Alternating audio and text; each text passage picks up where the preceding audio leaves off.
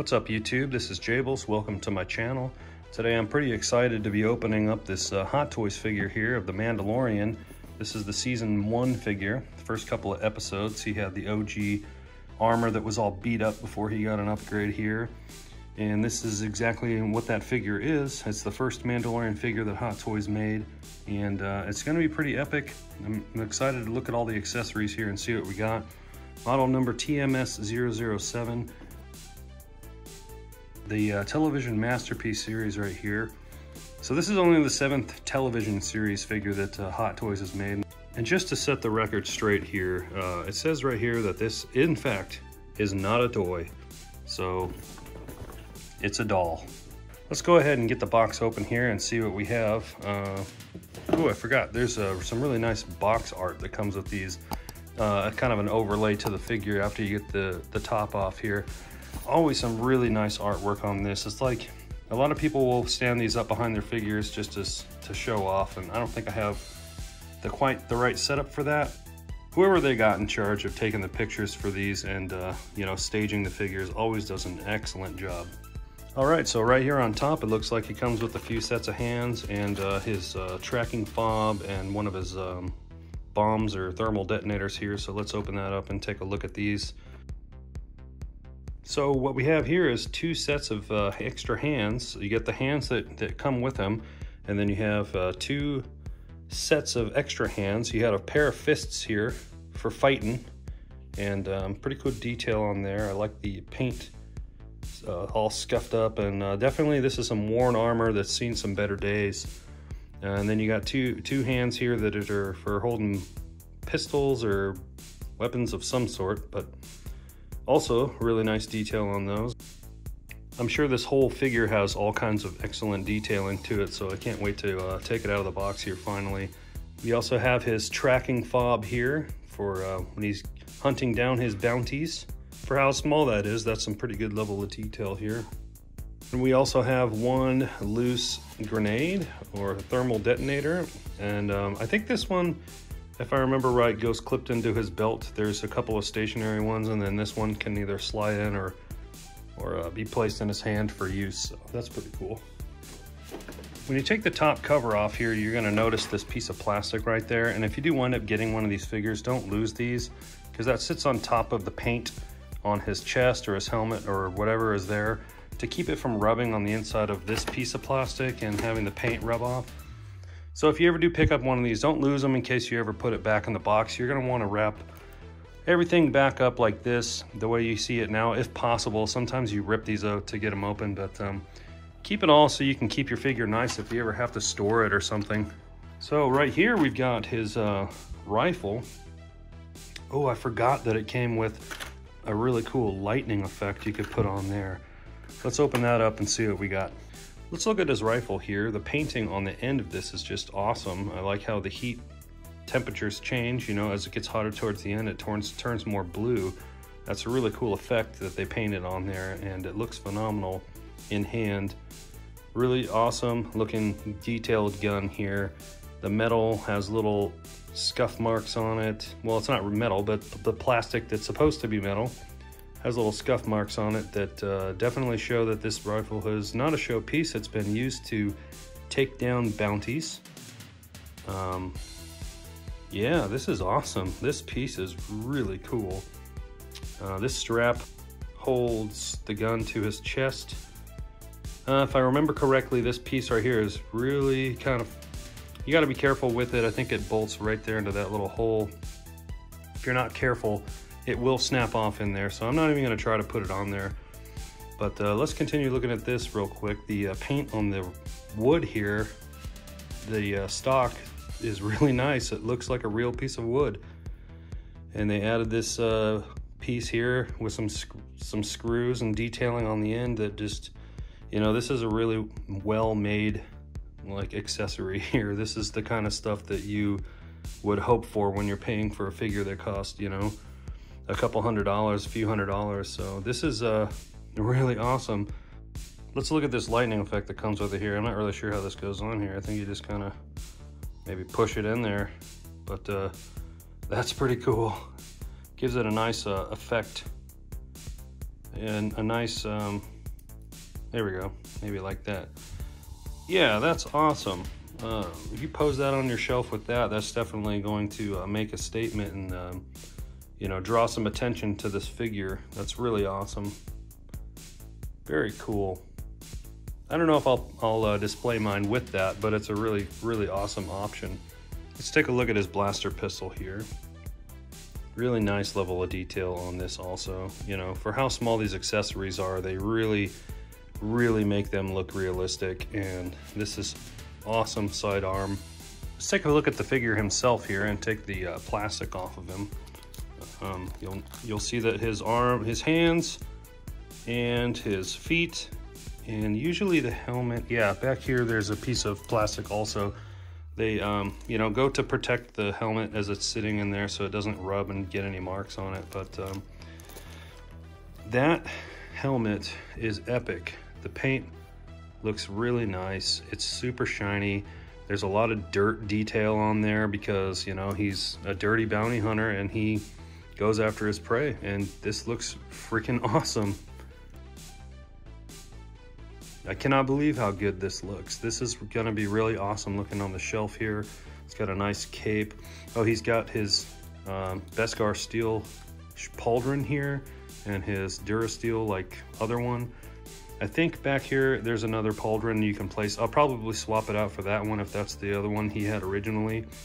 Um, just because I do have a whole Beskar uh, Mandalorian with the child that we're, we're gonna open later.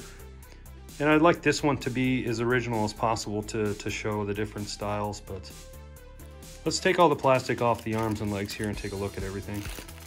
Right off the bat, my attention is drawn to these blaster marks that are just riddled throughout the armor. they look so good, how they painted them and they added the depth to them. And the shoulder pieces, there's some on the chest here. You have them on the thigh pieces. Um, the boots are not super beat up. But, uh, you know, there's scuffing here on the bracers, on the back, underneath the cape, and on the, uh, the little uh, tailbone clip here. Like, that is, that's some awesome detailing. And it just looks good. Like, this is covered up by a cape. They didn't need to do this, but man, it just looks great. That is some awesome detailing. The leather strapping on the bandolier looks really good. Um, he's got a bunch of these. I don't know what this is for. This is to hold his rifle, but uh, he's got a bunch of extra cartridges everywhere for his rifle. There's even one missing here to show that he uh, definitely uses them, but uh, awesome. The, the pleather looks really good. The uh, There's more, even more down here. Wow. I think he's wearing a fat suit, which is a, uh, definitely a extra layer of clothing underneath the outer layer here to make them look a little more thick. Some people take them off, but I'm not gonna mess with that. Man, this, this figure is great. Um, yeah, the fat suit kind of gets in the way a little bit when you're bending the legs up, but you know, some it's got some decent, it's got some decent movement. Um, you know, not too bad. This little hole here is what I was talking about with this rifle. You can you can pin this into here and it holds the rifle over his shoulder, like kind of down like this.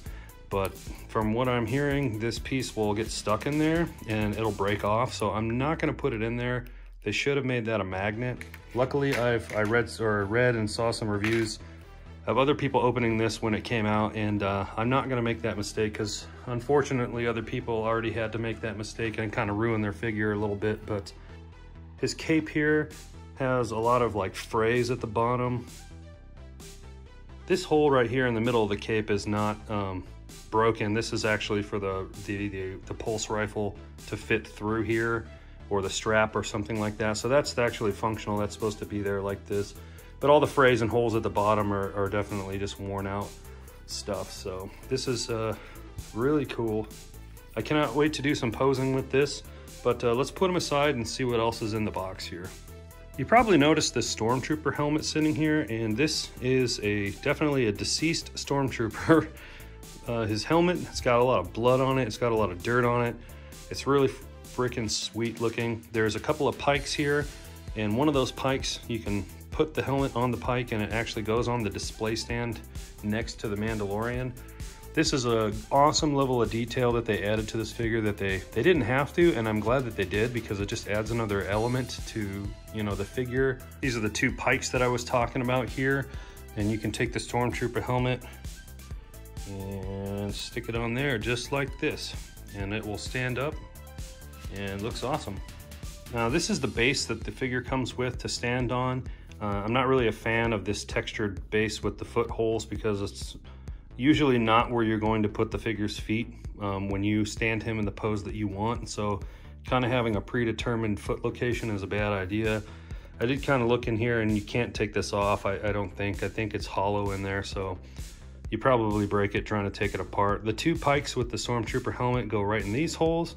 And this hole right here is for the, the crotch holder, the crotch grabber.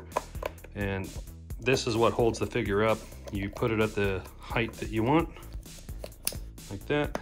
And you put the figure on it like this and it holds him up so he doesn't fall over. And uh, you know, there it says the Star Wars, the Mandalorian on the front and a nice plaque.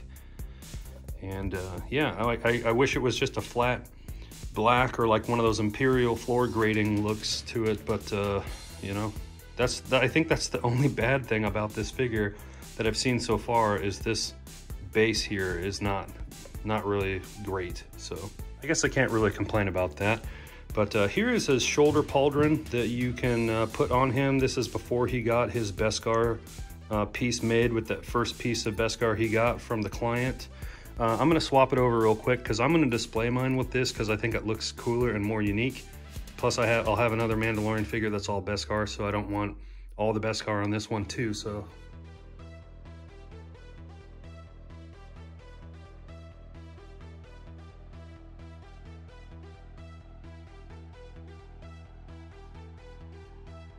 And there you go. Now you got a shoulder piece that matches the gloves, which uh, I'm not entirely sure, but I think these might be Shore Trooper pieces that he's just wearing.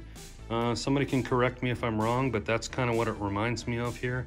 Yeah, I, I, like that look. I like the blue. You can kind of throw the cape up so you can see it or uh, hide it a little bit. But the reason I started with this figure first is because this was the first Mandalorian figure I picked up, and I'm going to kind of open them up in order here just so I can start my Mandalorian shelf. I'll have this OG Mando and IG-11, the Heavy Infantry Mandalorian, the Armorer, and so on and so forth, kind of all on one shelf together.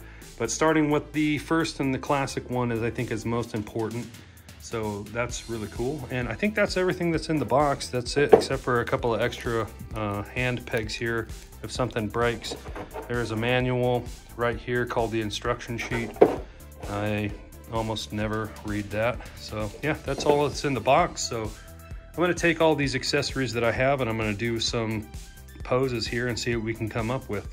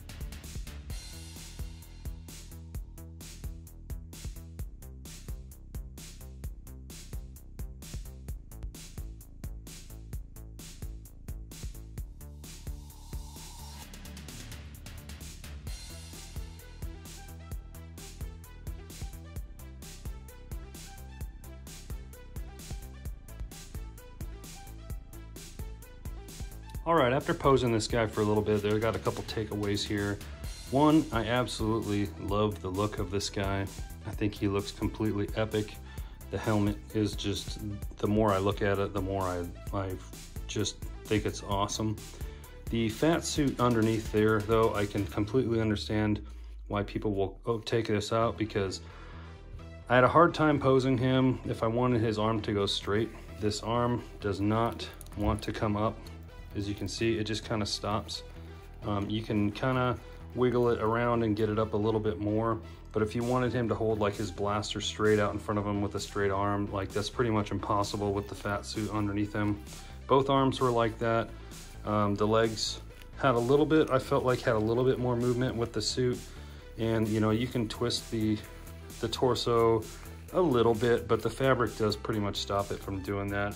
That aside though, I think this is really awesome and all the details on this figure, I believe it's going to be a collector's piece that um, people who miss out on it are gonna regret it later. So if you're into collecting Hot Toys Star Wars figures and you don't have this guy, look for a good deal for him because he, he is definitely worth it.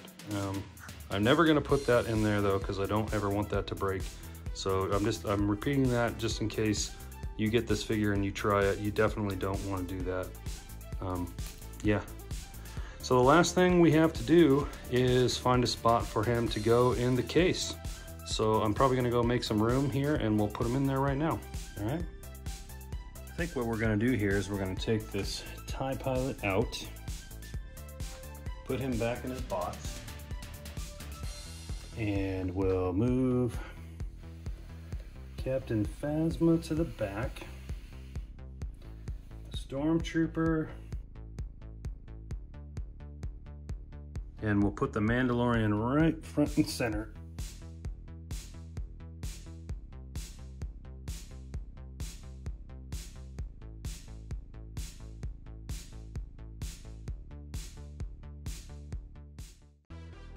yeah, I like it. I think we'll, we'll slowly get rid of the um, Force Awakens figures here and we'll start our Mandalorian collection here and go that way. Appreciate you guys joining me today and I hope you like that unboxing video. Let me know what you guys think of this figure down below. I think it's totally epic and it's probably gonna be one of my favorite pieces for a long time, if not forever. Thanks for watching. I'll catch you guys later.